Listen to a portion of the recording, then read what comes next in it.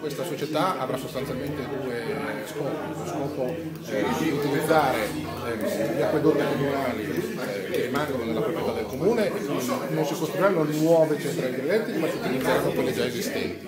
e poi quella di partecipare alle gare delle concessioni in scadenza che ad oggi eh, sul territorio solano ammontano a oltre 20 milioni di euro. Eh, salvo le due centraline che abbiamo deliberato di realizzare in Comune Macugnani e in Comune Pomorelli, dove chiaramente se ne ci saranno, al momento non è questa l'intenzione della società, ma è quella sostanzialmente di acquisire quelle risorse che per eh, decenni sono volate altrove e utilizzarle ovviamente a ricadute sul territorio. Infatti quello dice corretto, una volta le, le concessioni idroelettriche venivano rilasciate al servizio degli opifici, gli opifici davano lavoro alle nostre popolazioni, come è tutto evidente questo lavoro adesso viene meno, ma le concessioni idroelettriche sono rimaste, per cui riteniamo assolutamente corretto che quelle in scadenza tornino nel possesso, quantomeno economico, della popolazione